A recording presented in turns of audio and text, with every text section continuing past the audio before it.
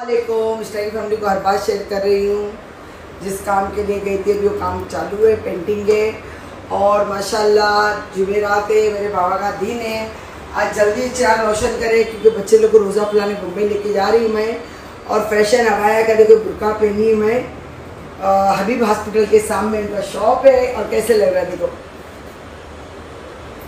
बहुत अच्छी क्वालिटी है। आप लोग जाना उनकी दुकान में एक बार परचेस क्या बोलते हैं? परचेस परचेज करना। परचेज करना आप लोग। बहुत अच्छी क्वालिटी है। सॉफ्ट एकदम मतलब स्त्री की ज़रूरत ही नहीं ऐसे कपड़े को। और कितना प्यारा बनाया है देखा आप लोग। लहर भी देखो कितनी प्यारी। है और आज कितने प्यारे दिन में मैं पहनी। माशाल्लाह उनका बिज़नेस ऐसी हो रहे ऐसी तरक्की करे दुआ में याद करना। अल्लाह हाफिज़। बॉम्बे हॉस्पिटल के बाजू दरगाह पे आए महाबलेश्वर बाबा दरगाह पे आए माशाल्लाह। ये देखो फूल की चादर इनके यहाँ बहुत अच्छे फूल एकदम ताज़े फ्रेश फूल मिलते हैं। हम लोग रोज़ा खोलने के लिए बैठे हैं देखो। मेरी बहन भी बैठी है हम लोग रोड पे बैठे हैं माशाल्लाह।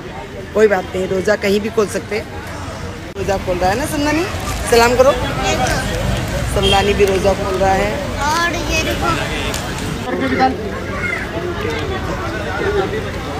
देखो। फूल वाले भाई रोज़ा खुला रहे ले और वो दरगाह की तरफ़ से खुल रहा है। माशाल्लाह आप लोग जब भी आए, आना यहाँ पर।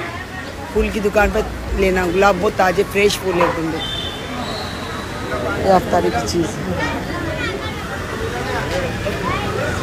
ये शरीन जैनब बैठे हैं।